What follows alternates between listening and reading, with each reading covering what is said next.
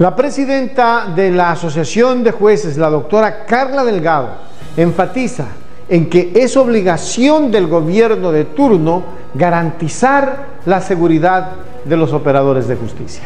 Vamos a ver. Como administradores de justicia no podemos, no debemos vivir en una alerta permanente mientras ejercemos nuestras funciones.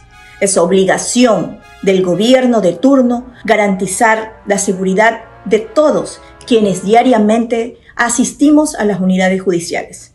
Buscamos el bienestar de secretarios, ayudantes judiciales, fiscales, defensores públicos, abogados en libre ejercicio y ciudadanía en general, para que de este modo no se afecte la independencia judicial, elemento fundamental para garantizar el Estado de Derecho y la paz social.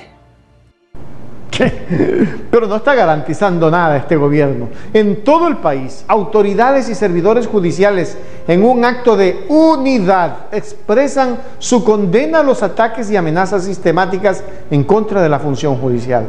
Miremos. Los atentados e intimidaciones no detienen el trabajo de la función judicial. En todo el país, autoridades y servidores judiciales, en un acto de unidad, expresan su condena a los ataques y amenazas sistemáticas a través de las cuales se pretende impedir que la justicia se imponga frente a la delincuencia y el crimen organizado.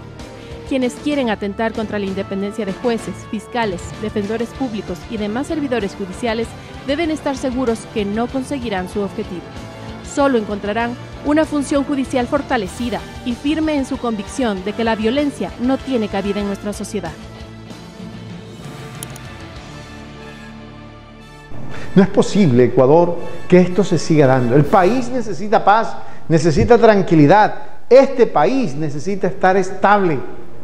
Lamentablemente la estabilidad parece que está en otro mundo. Mientras en Ecuador el índice delictivo y de violencia crece, el presidente se va de paseo, disque a solucionar problemas. No, ojalá sea su último paseo.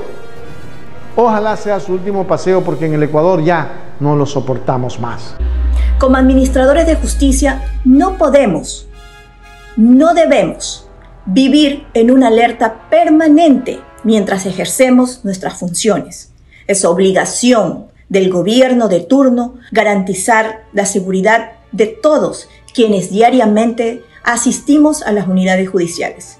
Buscamos el bienestar de secretarios, ayudantes judiciales, fiscales, defensores públicos, abogados en libre ejercicio y ciudadanía en general, para que de este modo no se afecte la independencia judicial, elemento fundamental para garantizar el Estado de Derecho y la paz social.